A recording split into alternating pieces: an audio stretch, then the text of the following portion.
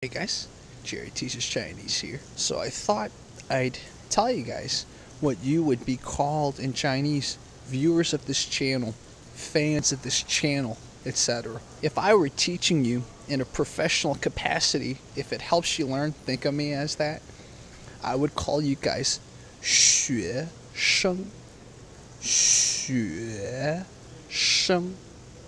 And what that means is student. Now normally when it's a person online talking to a group of viewers, you guys would be called 粉丝,粉丝, which is a literal way of saying fans. See the resemblance or hear the resemblance? Fans. 粉丝. Traditional media, aka television, movies, viewers were called 观众.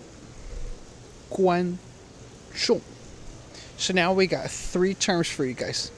观 众,学生, and of course 粉丝. What term do you guys like the best?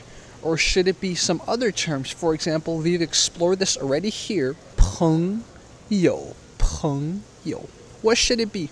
What should you guys be called? Or should we give you guys a pseudonym or a nickname? Let me know in the comments if you guys want a special name for viewers of this channel.